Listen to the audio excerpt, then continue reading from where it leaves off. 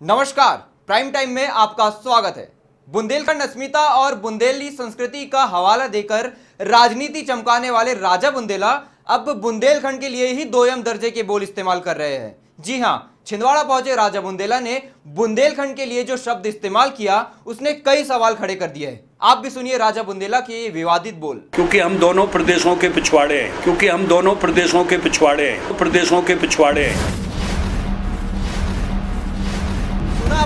कभी इसी बुंदेलखंड को राज्य बना, मुख्यमंत्री बनने का सपना संजोने वाले राजा बुंदेला को अब बुंदेलखंड कुछ और ही नज़र आता है। पत्रकारों के सामने बेझिझक राजा बुंदेला बुंदेलखंड के गौरवशाली इतिहास की परवाह ना करते हुए बेहद सस्ते शब्द इस्तेमाल कर रहे हैं। एक बार फिर सुनिए राजा बुंदेला के विवादित बोल। मैं हमेशा पार्टी फोरम पे इसकी बात करता रहता हूँ और ये मेरा मानना है कि बुंदेलखंड बने अलग राज्य बुंदेलखंड का विकास संभव नहीं।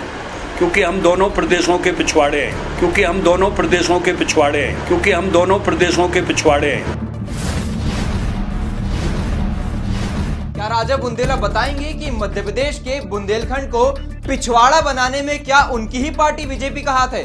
क्या राजा बुंदेला ये बताएँगे कि बुंदेलखंड पैकेज में भ्रष्टाचार करने वाले वो कौन लोग हैं? ज़ाहिर है, सियासत में आए राजा बुंदेला, सियासी बयान तो बदलना सीख ही गए हैं। लेकिन कम से कम बुंदेलखंड के लोग और उसके गौरवशाली इतिहास के मद्देनजर तो उन्हें इस तरह के घटिया शब्द इस्तेमाल नहीं करना चाहिए था।